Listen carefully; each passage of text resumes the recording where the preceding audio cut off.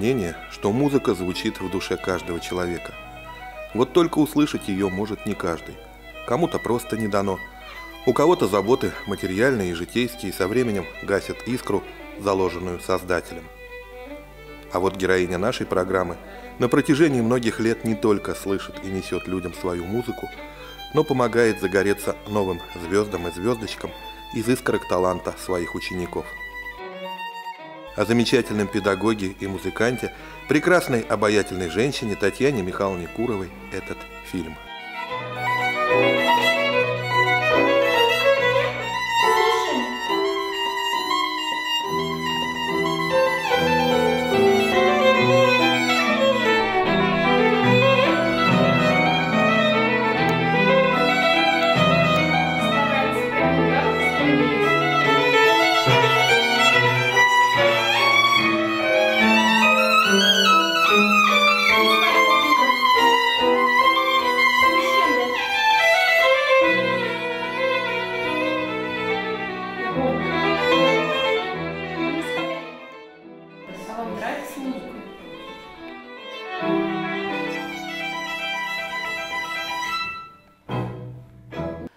Вечером прихожу, звонят, мы с ученицей выиграли, представляете?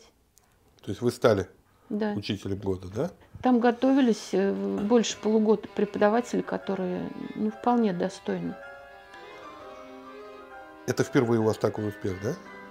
Ну какой успех? Я, я не стараюсь вот участвовать в каких-то таких глобальных, потому что все равно моя основная задача готовить ученика. Приятный сюрприз был для вас? Ну, я не скажу, что приятный, потому что э, там другим педагогам, наверное, это было важнее для их каких-то планов. Вот. Что, пишете, что ли? Да.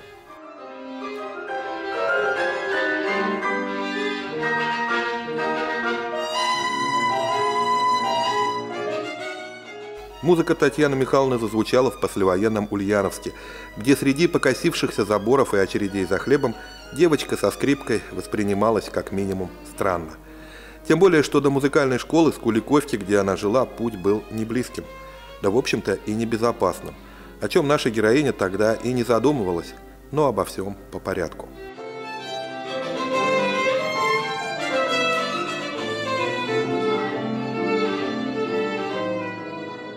Татьяна Михайловна, ага. Э, вы из музыкальной семьи. Я к тому, что знакомство с музыкой как и где и когда произошло? Ну, я родилась после войны, и отец мой вернулся из плена неожиданно, потому что приходило, приходили какие-то там документы, справки, что он пропал без вести. А это что означало? Что человек, наверное, погиб. Он неожиданно вернулся, и их освободили американцы –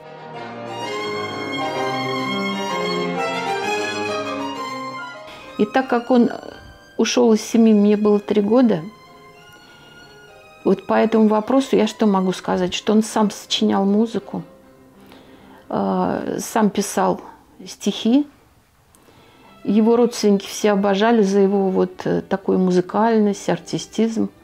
Но я очень мало помню всего этого, потому что, ну, три года, сами понимаете, да, какой срок – и помню только несколько раз брат тайком, так как был запрет встречаться с отцом, водил меня к нему на работу. Все, что я помню, он плакал. Как он играл, как он пел, я ничего этого не знаю, но все говорят о нем с восторгом. Вот он был очень музыкальный. Вот любой инструмент, как они говорят, давай ему в руки, и он моментально тут же подбирал любую мелодию и сочинял на ходу. А, Еще что я помню, что музыкантов не было у нас, но когда собирались многочисленные родственники, они замечательно пели, это был уже какой-то состоявшийся хор. То есть можно сказать, что я даже и в музыкальной среде родилась.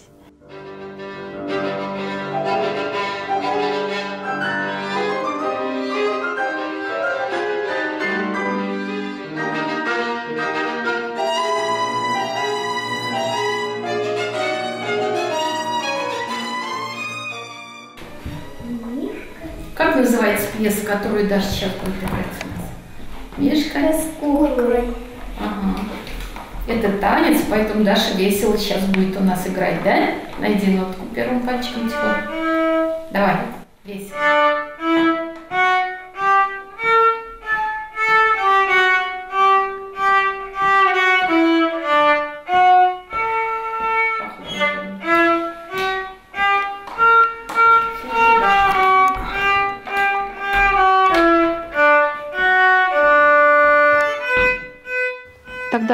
Куликовка назывался.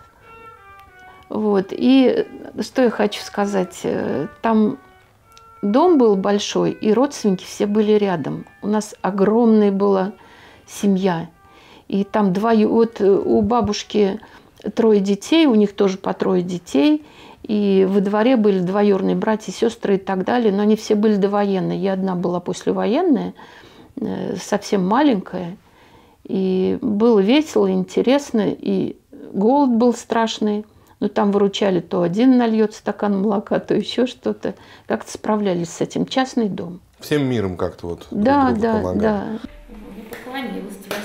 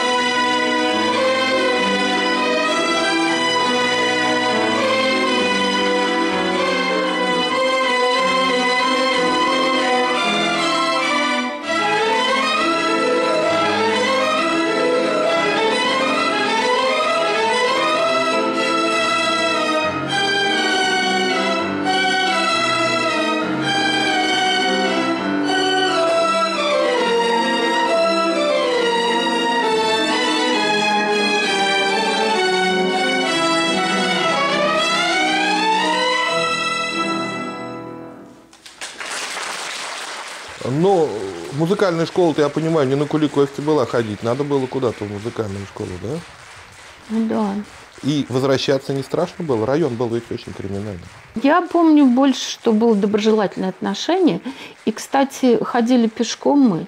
А школа, она находилась приблизительно где э, в конце Гончарова.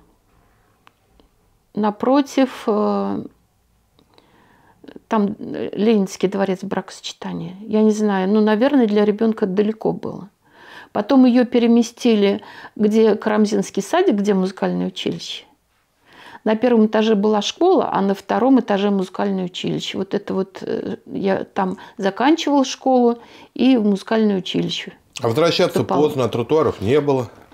Возвращаться поздно. Освещение тоже, наверное, уличного там на Куликовке никакого? Никто не провожал, не встречал. Но э, я не боялась, я не знаю почему. У меня брат был старший, который меня опекал, и его все знали. Поэтому я думаю, это основная причина была. Ну, просто темно и грязно, вот где-то весной, осенью распутиться. Это же тоже для девушки не совсем такой фактор, который стимулирует учебу в музыкальной школе. Да? Но мы все равно, вот мы не боялись. Наверное, сейчас вот совершенно по-другому, да. Я смотрю, дети уже взрослые, родители их приводят, встречают и так далее. У нас такого не было, не было возможности такой. Воскресенье, да?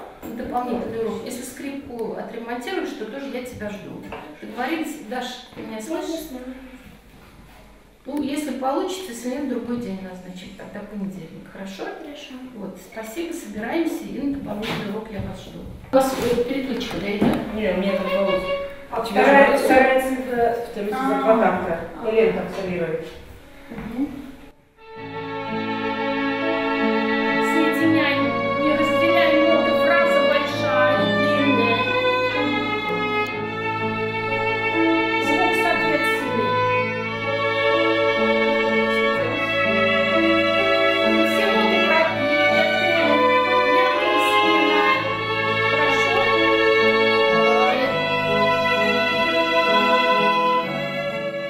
Музыкальная школа все равно это труд дополнительный, труд тяжелый. У вас э, это как было? Э, личные желания или мама, родственники наставили? Когда вот ну, ребенок начинает, наверное, несознательно, там родители приводят, а потом у кого-то отторжение начинается, а кто-то понимает, что да, мое. Вот как у вас было? Я понимаю, ну было все. Потому что меня, когда привели в школу поступать, это было, наверное, все-таки родственников э, советы, и мама меня привела. Это какой класс? Э, Я думаю, второй. Вот рано я не пошла как бы. Вот. Потом я еще была спортивной, тогда спортивные секции были, я уже их как бы посещала. И пришла поступать на фортепиано.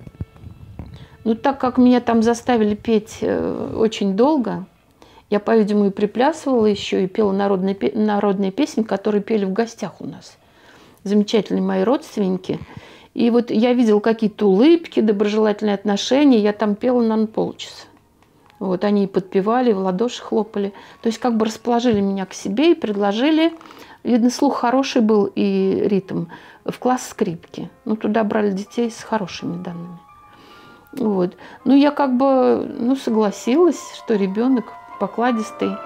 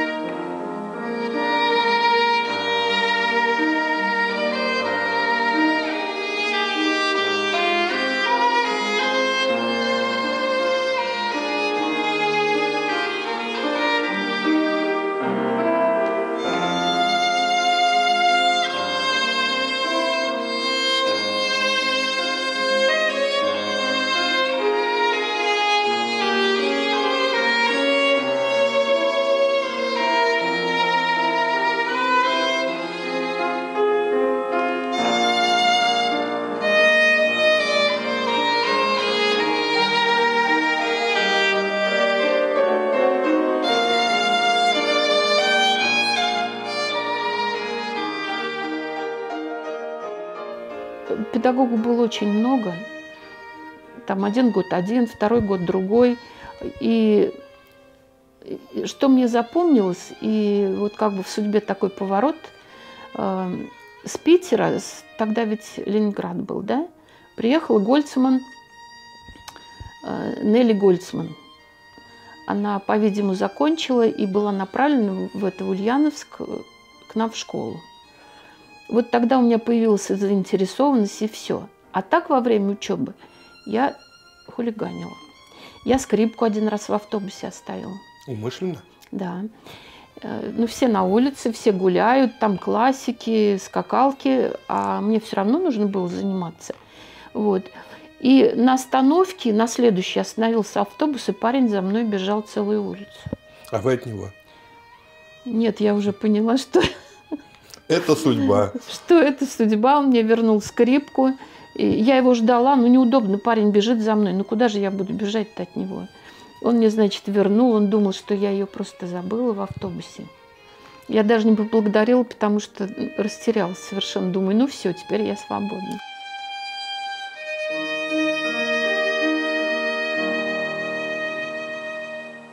Ну, у меня был старший брат на 10 лет меня старше. Он был и спортсмен, и потом он пошел работать в 15 лет, так же, как я, кстати. И, по-видимому, он был какой-то авторитет в районе, потому что меня, наоборот, опекали. И, ну, я, я ни на кого не могу пожаловаться, относились замечательно. И соседи, и молодежь, и ничего я не вспомню такого породящего наш район. Где она жила, очень веселый район. Был даже такой момент, когда меня встретили там, человек, не соврать, человек 10. Она на Куликовке же жила, там Орлова 7. Ну и вот, и, ну, я к забору так прижался. Хотели, наверное, побить. Ну, один парень меня узнал там. Говорит, э, не, этого не трогайте. Все, и на этом закончилось. То есть спорт- спортивное имя уже помогло. Да, да, да, да, да. Владимир Васильевич Куров, знаменитый хоккеист, неоднократный призер чемпионатов СССР по хоккею с мячом и чемпион страны по хоккею на траве, познакомится со своей будущей супругой на танцах в автомеханическом техникуме, куда учащуюся музыкального училища, спортсменку-комсомолку Таню Мельникову направит комитет комсомола. Бывали и такие необычные задания. Искра вспыхнет сразу, но завоевать Таню будет сложнее, чем медаль на ледовом поле – Будут и безуспешные попытки пригласить на прогулку, и долгие ожидания под окнами музучилища после тренировок, порой с баулами и клюшкой, часто вместе с товарищами по команде. В общем, пришлось понервничать и подождать.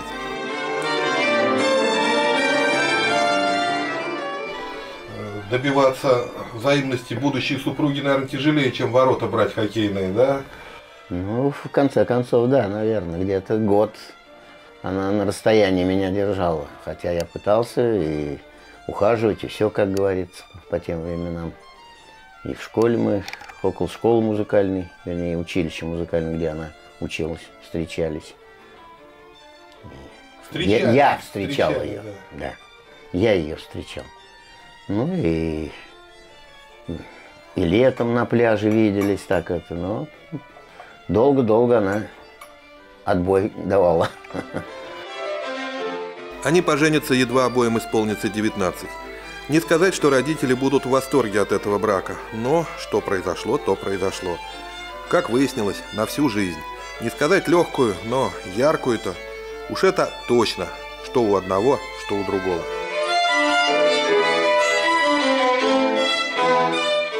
И я вот уже в конце первого курса музыкального училища, мы же тогда не после девятого, а после восьмого, а, шли в музыкальное училище или в какие-то техникумы, и там уже э, ну, начинала работать за какие-то там небольшие деньги. Мы играли, знаете, где? По-моему, на автозаводе там какой-то оперный кружок был. Самодеятельный, наверное. И мы, как музыканты, были востребованы там и уже получали какие-то небольшие деньги, были несказанно рады просто. Первые успехи когда почувствовали, что приходит, и что было первым успехом? Ну, я не знаю, тогда... Для вас первый успех. Ну, в то время ведь в училище И вообще в музыкальных школах э, не было вот этих конкурсов и так далее. Нас никуда не возили, не показывали, мы нигде не выступали. Все шло как бы вот так вот своим ходом. И, может быть, даже это и неплохо было. Сейчас вот засилие этих конкурсов различных. И не всегда это бывает достаточно высокий уровень. Вот. Хотя они называются международными, бывают и так далее. Ну а какой успех? Ну вот закончила училище, и сразу же нас определили на работу. То есть мы не искали работу, вы сами знаете уже. Мы шли по распределению.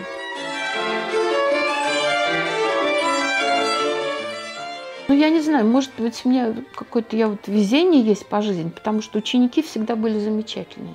Вот с первого года у меня, мне сразу дали в школе 17 человек детей. Это вам сколько тогда было?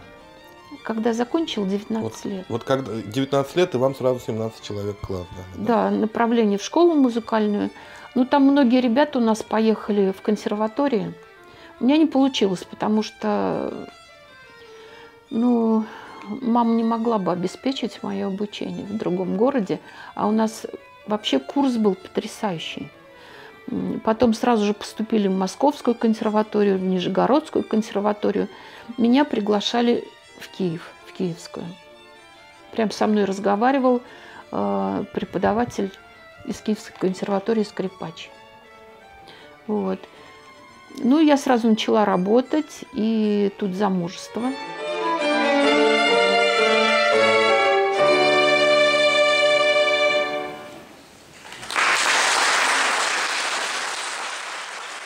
Брак был ранним. Я не знаю таких родителей, которые бы приветствовали ранние браки, как у вас было. Ну, не, я не могу сказать, что отец-то был за, мать немножко, конечно, так это. Ну, что, молодой еще был, 19 лет она. Вроде не, рав- не ровнее тебе и так далее. В смысле, то, что она это, ну, музыкант, а ты это, спортсмен. А потом все стабилизировалось. Ну, я вот, да, э, не знаю даже рассказывать или нет, когда он познакомил меня с родителями, ну, мама, конечно, была категорически против. Я ее не осуждаю за ее точку зрения. Она говорила, «Ну, с ума что ли сошел там со скрипкой какая-то девочка. И как бы они считали, что я жена такая неперспективная. Не накормлю, не напою и так далее. Ну, это стереотип, ведь у многих, если она играет на скрипке, Да. она руки бережет, она посуду мыть не будет, картошку чистить не будет, она вся в искусстве, на концерты тебя сводит, а вот за стол посадить это... Ну, это очень часто в обществе. На самом деле, так это было, или вам тоже пришлось как-то себя менять, или вы были готовы к этой бытовой стороне уже? Нет, мы были готовы, просто уже одеваться было некуда. Мы сразу жили отдельно же от родителей. И нужно было и ребенка воспитывать, и готовить, и кормить, и так далее. Пока Татьяна Михайловна почивала нас вкуснейшим борщом и рыбой из волжских уловов супруга, пришел с тренировки в Волге и Владимир Васильевич. Естественно, мы не могли не поговорить и с ним о том, как ужились под одной крышей коммунальной квартиры коньки и скрипка. Ох, и интересно это дело писать супругов по отдельности, даже проживших вместе полвека. Может быть, супругов с таким стажем еще интереснее, ведь семейная жизнь, как вино, с годами только крепче и дороже. Ничего она не умела делать, кроме того, как играть на скрипке и преподавать. Вот это она умела хорошо, и в итоге она стала заслуженной преподавателем. А я это... Что я могу сказать? Были, вот как раз были такие небольшие нюансы, когда приходишь, а ничего не готово, ничего там нет. Но когда любишь друг друга, то в итоге находишь какие-то контакты и все становится на свои места. Сейчас она у меня, ну она, она бывает вот как вы сказали, что люди, ну не готовят, она и не хочет учиться готовить. А она нет, она стала учиться и все. И, ну я помогал, конечно, где-то что-то. Я, я не могу сказать, что я готовить могу. Ну, конечно, могу что-то, но помогать там картошку почистить, что-то там где-то я умел. С детьми помогал, там и ночью я вставал там к, детям, это, чтобы она выспалась немножко, давал тоже. А так, А сейчас она готовит вообще бесподобно. Очень хорошо, вообще вкусно, и все она умеет готовить от и до, я считаю.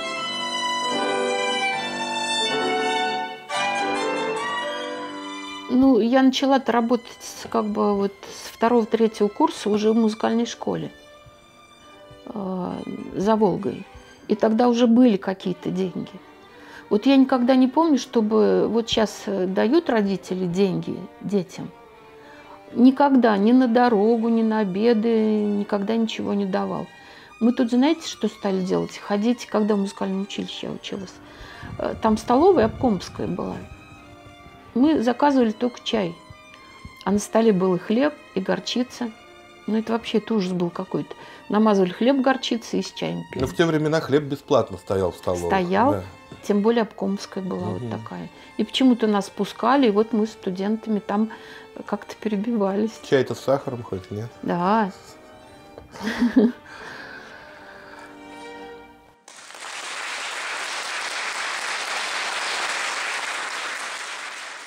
Квартира вот эта вот коммунальная, где вы с Владимиром Васильевичем всю жизнь, можно сказать, прожили, да? Дома надо ведь тоже заниматься, играть. Соседи не жаловались, бывает же через стенку стучать начинают, а по коммунальной квартире. И супруг как к этому относился. Он же с игры тоже разобранный там какой-нибудь приезжает, ему покой нужен, не кричал, что прекрати играть, пиликать. Вот расскажите об этом немножко. Ну, мы когда въехали сюда, это была действительно коммуналка. Э, Жила, значит, э, член партии, такая правильная, очень хорошая женщина, Санташова Екатерина Георгиевна, э, которую, ну, я лично даже побаивалась. Вот. Ну, я не знаю, мне о ней только, только вот добрые, хорошие слова, потому что родился через год ребенок, а тогда мы не сидели по три года с ребенком. И э, помогали все, и соседи, и она.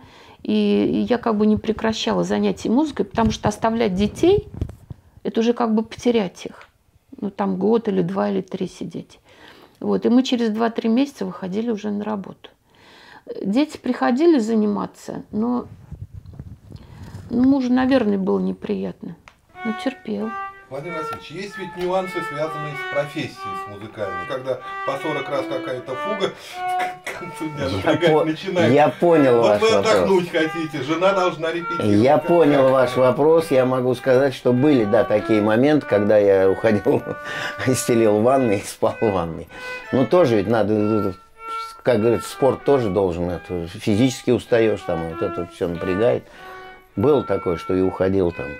Но это- до конфликта, во всяком случае, не доходило, все как-то так, это мягко складывалось и все. Она умная женщина, она умела где-то дать понять, что она, я- ей не нравится этого, я, я давал понять, что мне это не нравится.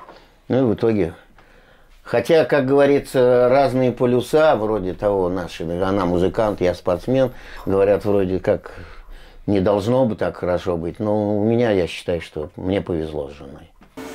Сегодня в программе концерта выступают учащиеся от струнного отделения, скрипачи.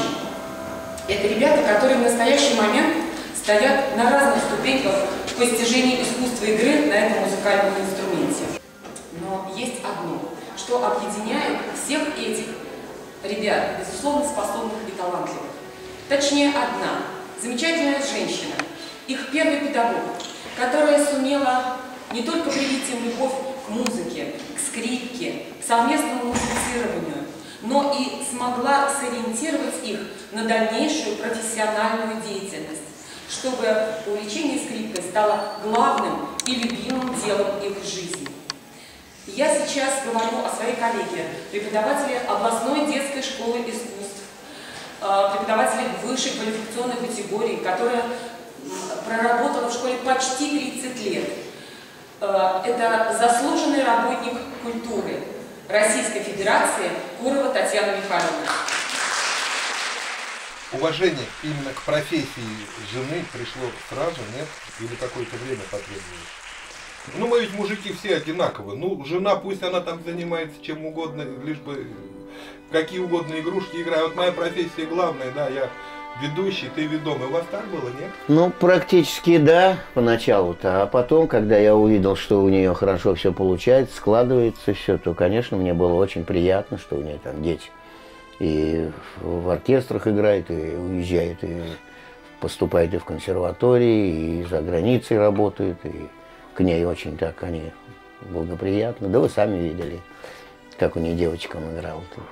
Вы на концерты какие-то их отчетные сразу стали ходить? Или на какие-то концерты с ней классической музыки, нет? Нет.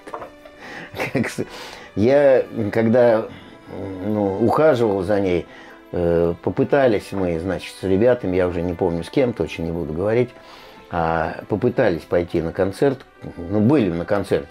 Она меня посадила со своими однокурсницами, мы сидели там с однокурсницами. Ну, симфоническая музыка мне далеко не это непонятно, если честно. Хотя я очень любил эстрадную музыку, джаз любил там и так далее. Мы выросли на Битлзах там и так далее. А э, вот на этом концерте она нас посадила, но это еще мы дружили когда. И девчонки эти, которые сидели, они, ну, как они там все восторгались и хлопали, это было, конечно, видимо, здорово.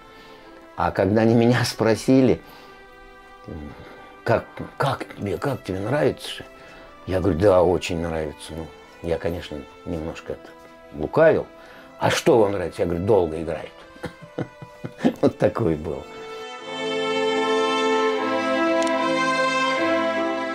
Приучить его было тяжело ходить на эти концерты. У него как бы свои приоритеты были. Вот. Но он иногда ходил, и я хочу сказать, что он вообще фальшиво пел, это было что-то ужасное. Он в последнее время чисто петь у меня стал. Заслуга, наверное, учеников, которые здесь занимаются, тоже играют.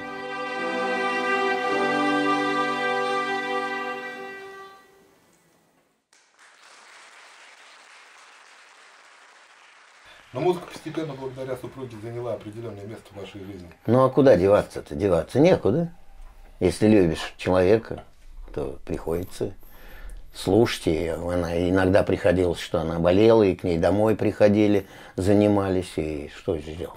Ничего, слушаешь. А Татьяна Михайловна на хоккейные матчи сразу начала ездить, даже в она, она ходила, да. Ну, тогда как-то женщины, наши жены всех игроков, почти все, и у них место там было, и они стояли все вместе там, и в раздевалку, не, не в раздевалку, а в, помещ... в павильонах запускали, и они э, в морозы, да, они были с детьми приходили, с колясками, совсем так что.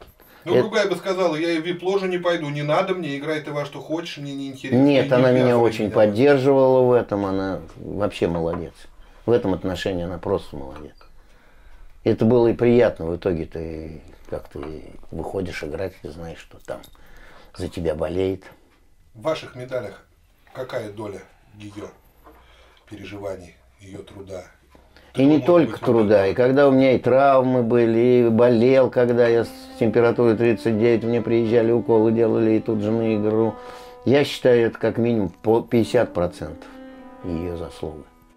Татьяна, в общем, молодец у меня, что там говорить, она золотой человек просто.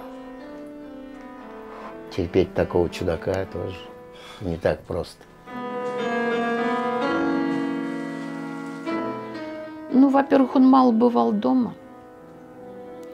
И как бы помощи со стороны родственников не было. Его родители жили в другом городе. Ну, я говорю, слава богу, что иногда вот э, соседям оставляли там детей и так далее. Потом они подрастали, хулиганить начали.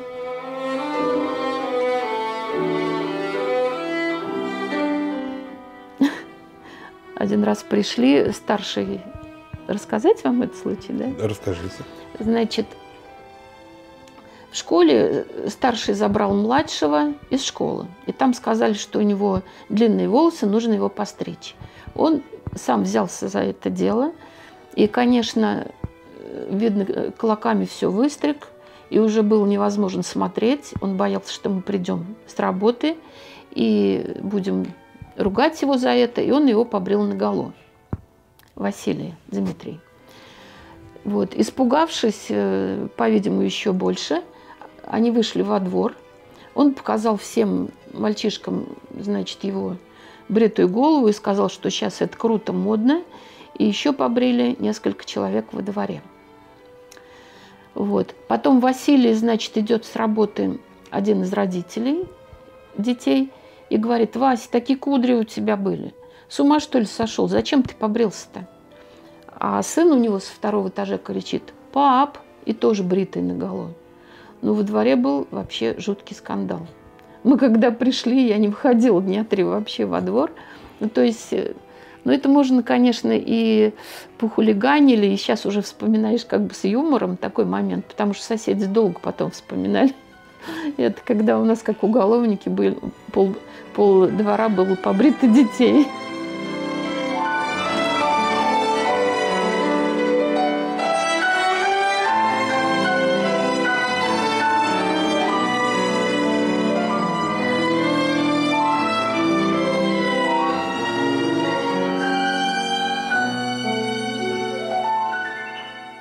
А я вот еще о другом подумал. У Владимира Васильевича зарплата 130 рублей в Волге, ведущий хоккеист. Ну, жили так, уж, ну, ужасно в Ульяновске всегда зарплату, я не знаю, это выдавали, как не знаю. Не знаю, что. У вас, наверное, тоже не больше. Двое детей. Вы уже известный педагог, он известный хоккеист. Как жилось? Материально ведь тоже тяжело. Тем более, вы говорите, родители помочь тоже ничем не могли. Ну вот я из детства, когда мы жили на таком уровне, что мне очень нравилась тюря, когда вода лук, растительное масло.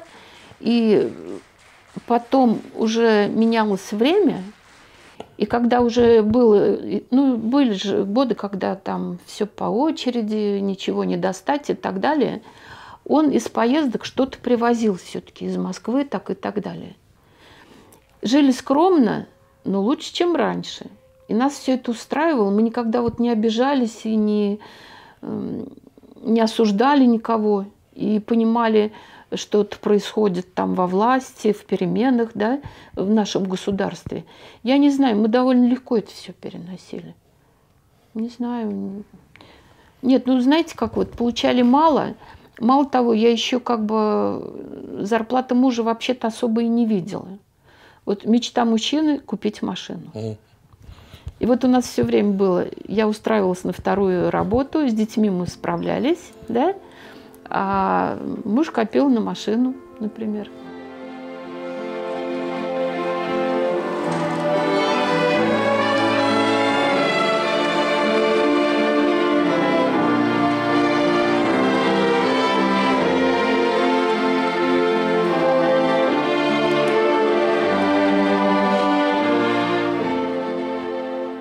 Мечта Владимира Васильевича купить автомобиль так и оставалась мечтой, по крайней мере здесь, в Ульяновске, буквально до начала 80-х.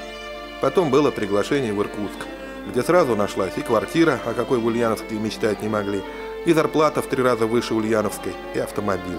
А самое главное отношение тех, от кого зависит это самое благополучие, которого почему-то никогда не было в родном городе. Возможно потому, что пророка нет в своем отечестве, или по каким-то другим рационально абсолютно необъяснимым причинам. Меняется что-то? Не знаю. Но мне кажется обидно, что звезды, которые вспыхивают здесь, вспыхивают, конечно, не сами по себе, востребованы бывают далеко отсюда. Это относится не только к спорту, но и к музыке.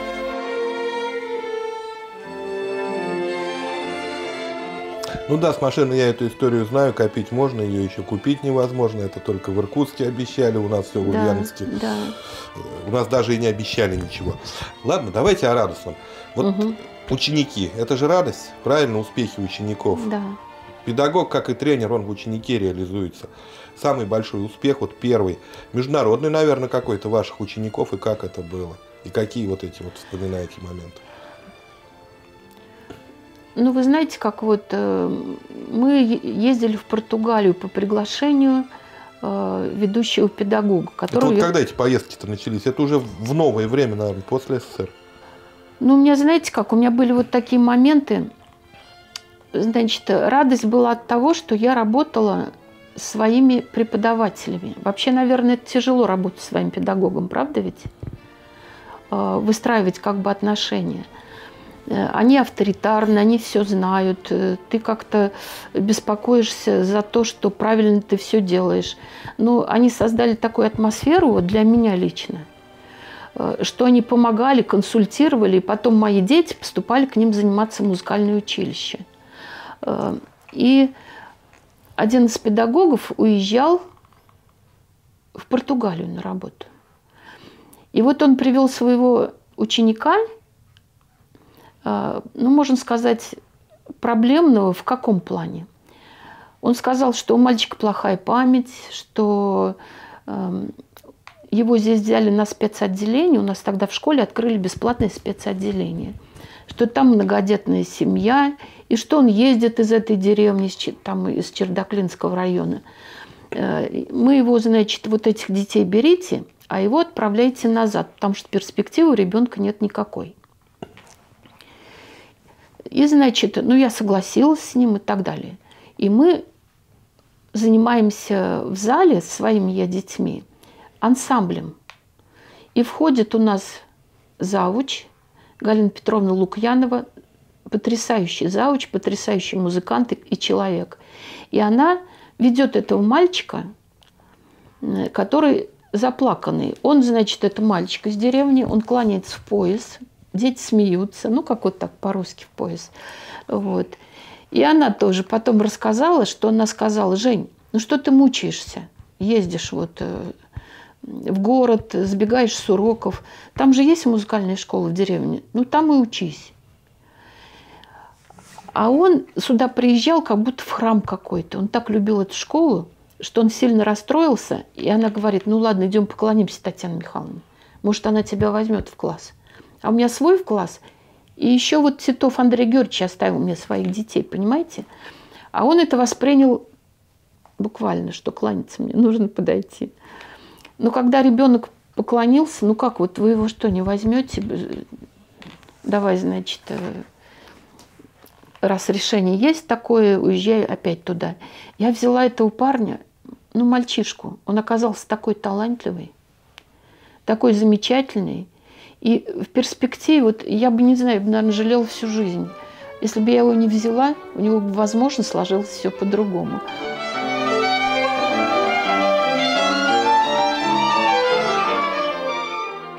Он сейчас заканчивает э, высшую школу музыки в Америке.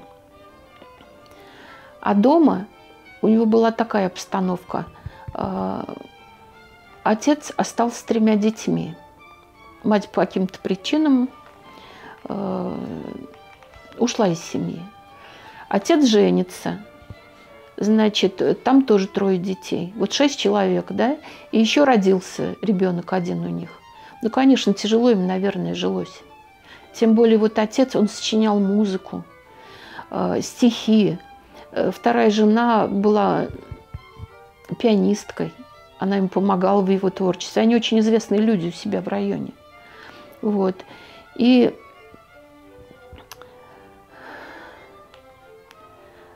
Ну, в общем, я рада, что его взяла в свой класс, и что у нас дела пошли хорошо. Мы стали лауреатами конкурсов, когда поехали в город Тольятти. И там преподаватель, с которым мы познакомились, она уезжала к сыну в Америку, и моего Женьку забрала туда.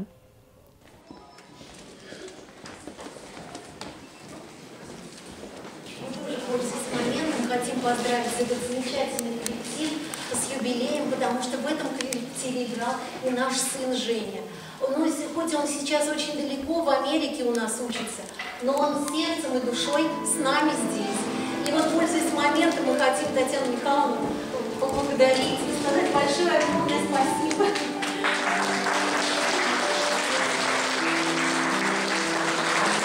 За ее любовь, за ее душу, которую она вложила в нашего сына, потому что именно она дала эту дорожку, проложила в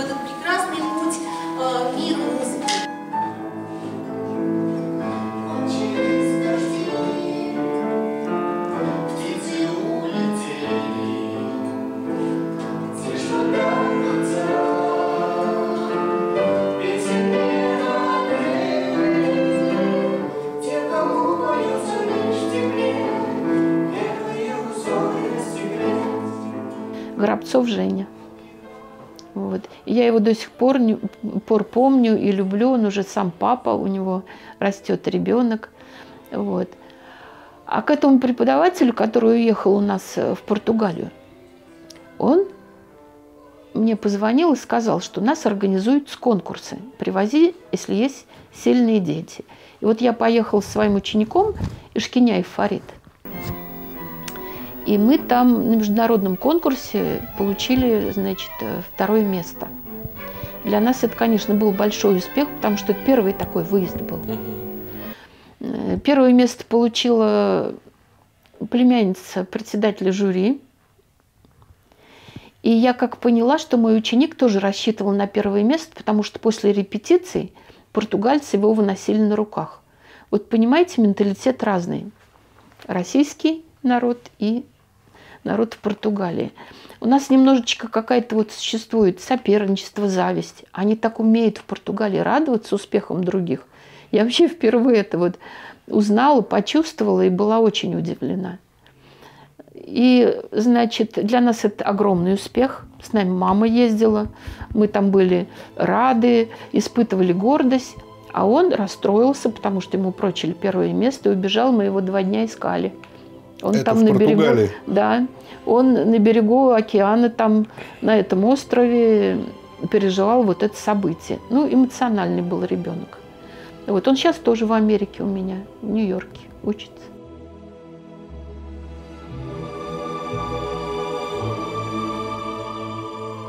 Это очень талантливый, способный мальчик. И очень часто побеждал он на всех этих конкурсах.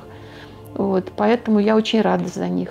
Но у меня многие дети выбрали э, своей профессии музыкальные направления. Вот, и успешны в этой области. У меня только в оркестре сейчас в симфоническом трое ребятишек играют. Но это тоже здорово.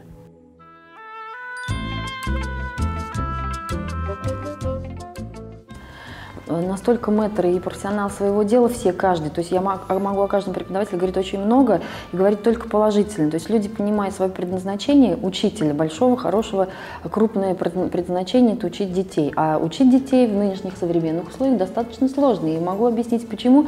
Потому что настолько огромен выбор эм, дополнительного образования, будь то спортивная школа, музыкальная школа, школа искусств, хореографический кружок. То есть настолько много соблазнов вокруг, соответственно, нужно уметь заинтересовать, что благополучно Татьяна Михайловна делает, у нее это очень получается. И понимая, что трех, четырех, пятилетних детей, отбирая игре, игрой на скрипке, она растит и взращивает э, э, определенный вот свой класс, да, свои таланты, и преемственность вот в ее случае просматривать очень здорово.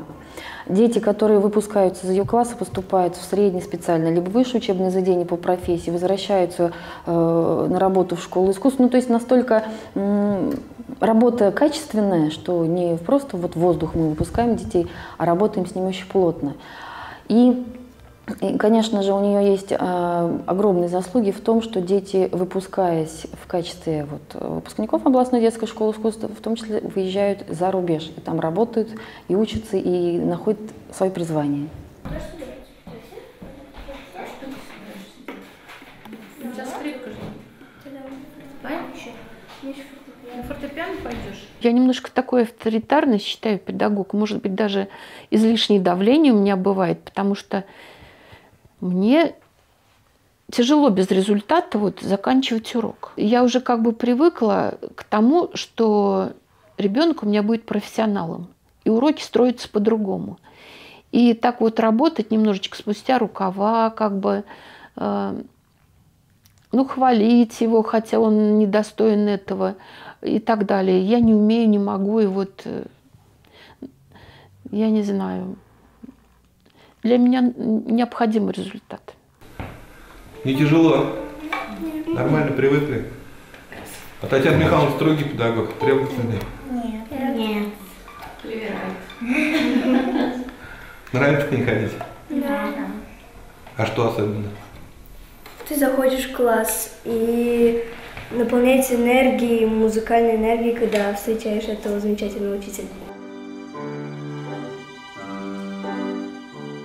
Если вы не умеете по-человечески обращаться с ребенком, если вам с детьми не интересно, какой бы вы ни были гениальный исполнитель, вам будет очень тяжело. То есть, конечно же, нужно с ребенком общаться и найти какой-то ну, контакт психологический в первую очередь, потому что они приходят к нам 5, 6, 7 лет. Они однозначно загружены в своей основной школе, им там тяжело, и много нового, необычного, и очень много ну, усилий прилагается. Все, школа началась. И, соответственно, если каким-то образом нагружать и здесь сразу с первого, с первого там, второго класса, то будет очень сложно. Но элемент игры, элемент такого вот знакомства, завязывания отношений. И я думаю, что психологам нужно быть. Ежегодно более чем 500 э, детей наших учащихся становятся победителем различных уровней конкурсов, вот абсолютно, от городских до международных. Я считаю, главный, не главный, одной, одной из заслуг, знаете, какой момент? Э, дело в том, что учащиеся нашей школы принимают в течение всего года участие в президентской творческой школе, которая организована в городе Сочи и называется «Сириус», такой детский образовательный лагерь. Э, несколько учащихся нашей школы принимает там участие. Это очень дорого стоит. То есть отбор совершенно сумасшедший. И выиграть на общероссийском отборе путевку в этот лагерь на 24 дня, где в рамках этого вы можете поплавать в море, пообщаться и получить мастер-классы профессионалов, причем с консерватории, с Центральной музыкальной школы города Москвы. То есть и когда дети из ОДШИ включены в этот процесс, я считаю, что это здорово. То есть мы отобраны. А у Татьяны Михайловны Совсем недавно э, мы говорим о том, что в прошлом году в э, Йошкар-Олу, в среднюю специальную музыкальную школу, президентскую школу, поступил ее ученик. Не выпускник, а именно ученик, то есть он с класса в класс перешел и обучается там. Ну, конечно же, она готовит новые звездочки, не будем раскрывать секреты, есть у нее такие выдающиеся дети, которых она готовит на определенный конкурс. Они с этими конкурсами уже определились и учат программу репертуар. А вас Елена зовут, да? Да. А у вас уже успехи есть серьезные, да? Да, правда. Сразу поверили, что успехи придут, или как-то вначале через силу было? Вначале через силу было. Пришлось поработать. Это желание родителей было или ваше прийти? Мое. Ну и родители помогли, конечно же. Когда почувствовали, что можете? Да. Сколько лет прошло? Вопрос на засыпку, неизвестно. Ну вот если даже со спортом сравнивать, вы знаете, наверное, что Татьяна Михайловна, да, супруга да. знаменитого хоккеиста, ну мне вот по спорту легче говорить, на каком-то этапе тренировок бывает, что вот, ну, вот требует тренер, ну вот, ну не могу я больше еще, ну что вот ему еще надо, а потом как-то второе дыхание открывается. А в музыке так же, наверное, нет? Да. Не бывает. требует или бывает? Бывает иногда такое, да. Сейчас какие планы? Это Творческий секрет. секрет? Это секрет. Да. Друг на друга нет. Елена, ты туда смотрел. Еще разочек опустили, посмотрели. Жень более артистично, понимаю, не надо так как попало это делать. Так, все, какой там оттенок у нас? Ага. Звук. Тут и плюхнул смычок, это не звук. По-видимому, все равно вот сильный педагог и сильный ученик, и все равно они должны на каких-то человеческих вот своих качествах сойтись, подойти друг к другу. Не всегда получается хороший преподаватель, хороший ученик, дела не идут. Должны дополнять друг друга в каких-то вещах. Вот я не знаю, где-то пазл должны да, сойтись. совпасть.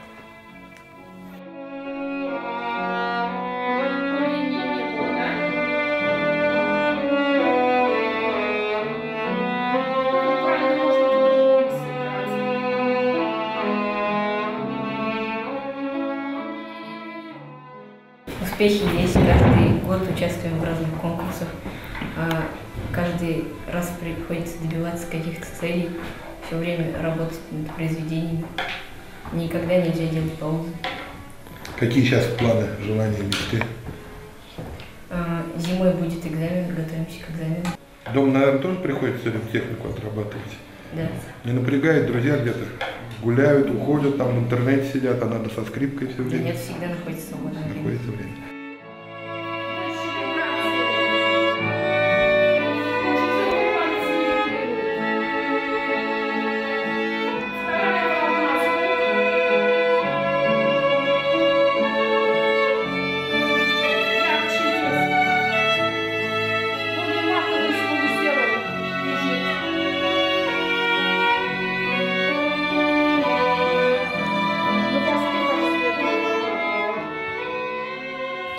Когда пошла работать, все это было автоматически. Но в будущем я вообще я благодарна родителям, что они привели меня в музыкальную школу, что меня пригласили в первую школу.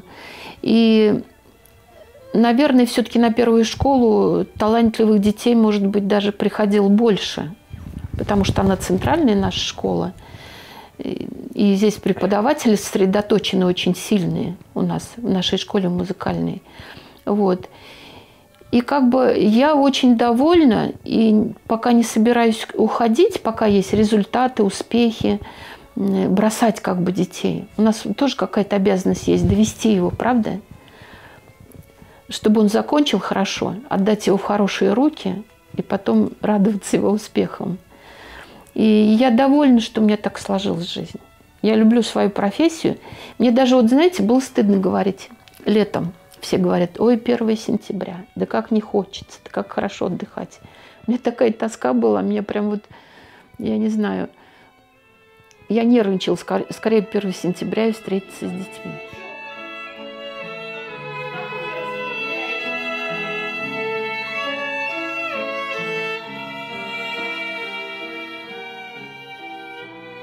Чувствуешь, конечно, удовольствие вот по жизни от того, что мои дети успешны в этой жизни. Но все-таки наша основная задача, конечно, это. Вот.